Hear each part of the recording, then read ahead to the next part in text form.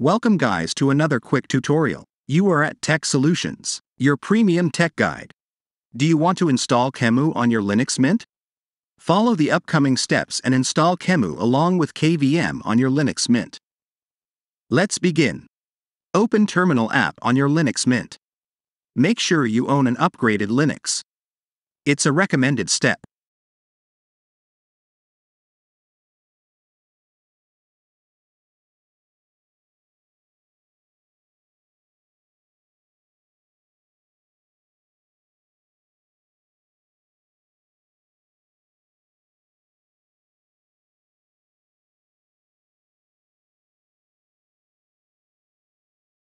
Install QEMU along with the required components with apt as shown.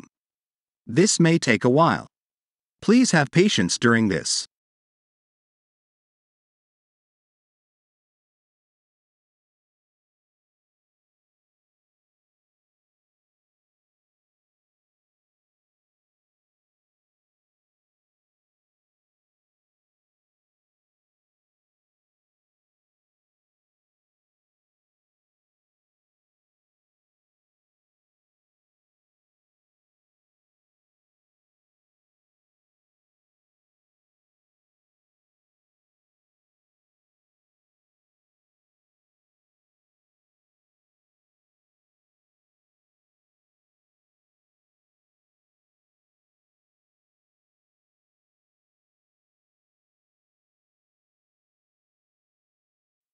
Let's now start and enable the important services.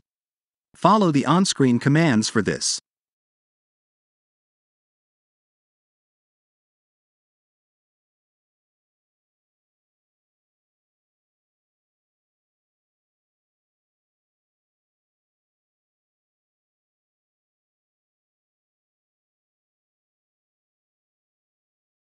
Once done, add the virtualization service to root group as shown.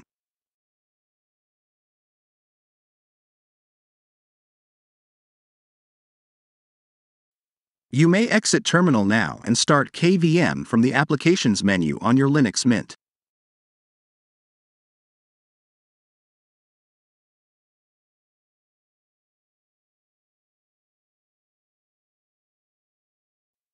All done wisely.